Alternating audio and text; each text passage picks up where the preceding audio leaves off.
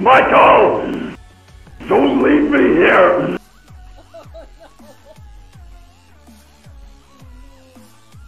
Oh, my God!